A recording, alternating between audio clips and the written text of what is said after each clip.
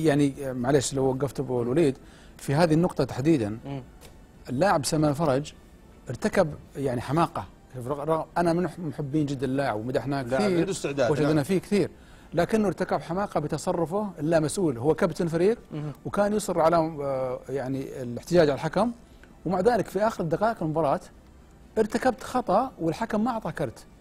وأصر على انه يأخذ الكرت بالاحتجاج هذا صراحة تصرف لا مسؤول. أضيف إلى الشراحيلي مثلا. أنت تقول مثلا أوكي شوف البديل موجود.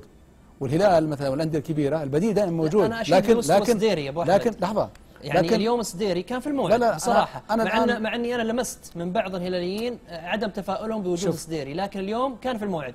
أنا أتكلم عن خالد شراحيلي الفرج دقيقة بس هلا أبو. أحمد عشان أعطيك سؤال بس عام.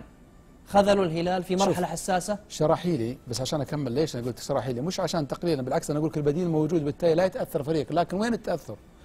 واكب المشكلة ضجة الضجة الإعلامية.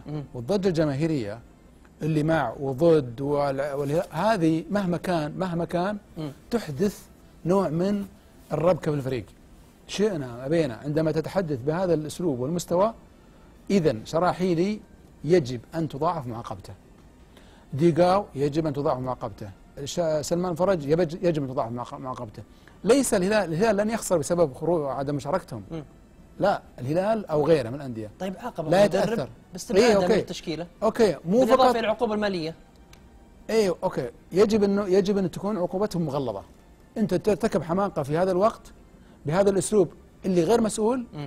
يجب أن تكون عقوبته مغلظة حتى وإن كان نظام الاحتراف موجود ولك بنود وكذا وكذا. لا في أشياء أخرى تبعات يجب ان يجب أن تسجل